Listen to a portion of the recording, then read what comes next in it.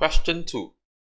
In a quiz, 4 marks were awarded for each correct answer and 3 marks were deducted for each wrong answer. No marks were awarded or deducted for unanswered questions.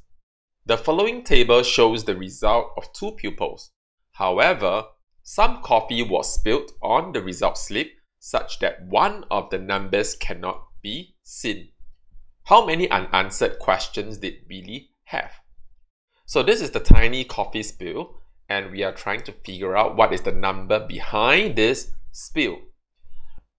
Let's focus on N. She has 0 unanswered questions, 25 wrong questions and that gave her a total of 165 marks. Let's think about what will happen if instead of having 25 wrong answers, she didn't get these 25 questions wrong. So what will be her total marks then? So our first step is total number of marks if N answered all questions correctly. So we start with 165. If she didn't get these 25 questions wrong, we will need to give her back the 3 marks that were deducted. Correct? So we're going to add back the 25 times 3, which is 75 marks.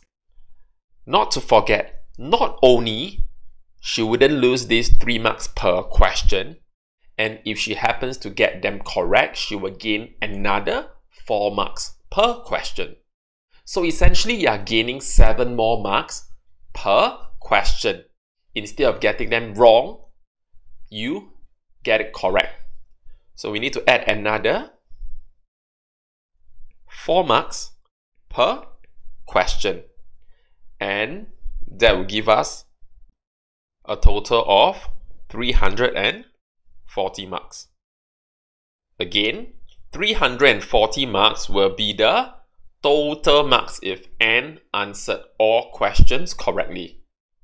From here, we are going to figure out how many questions are there. So total number of questions. If 340 is the total marks when all questions are answered correctly and each of them will be awarded 4 marks, we're just going to take that and divide it by 4, which will give us 85. So there are 85 questions in total. Next, knowing this, we can start to figure out how many unanswered questions Billy has. Given that Billy uh, had no wrong answer, this 168 marks got to come from the correct answers. So we're going to figure out number of questions Billy answered correctly.